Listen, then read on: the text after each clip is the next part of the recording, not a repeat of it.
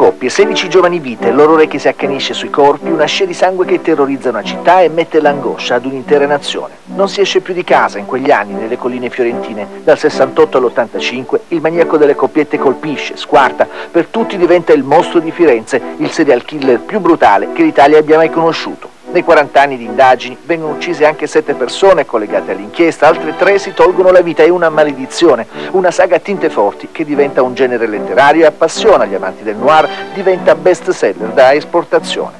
Io ho voluto bene a tutti, non ho fatto questo male io.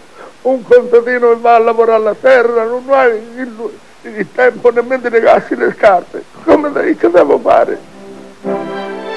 Si dichiara innocente Pietro Panciani, il contadino di Mercatale condannato, poi assolto, morto prima che si celebrasse un nuovo processo.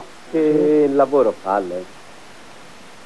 Io sono sta... stato a fare delle merende con i Pacciani. No, no, no scusi un attimo. Una... Allora, ho... Vedo che qualcuno le ha già detto cosa deve dire. Con Pacciani andavamo solo a far merenda, ripete per anni Mario Vani, l'ex postino di San Casciano. Poi c'è il pentito Giancarlo Lotti, morto sei anni fa, e lui a far ritenere ai giudici che ad agire fu un gruppo di semi-analfabeti.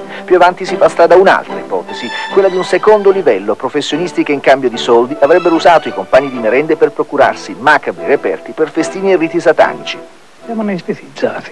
Poi mano a mano che questo dolore scenderà, allora comincerò a piangere.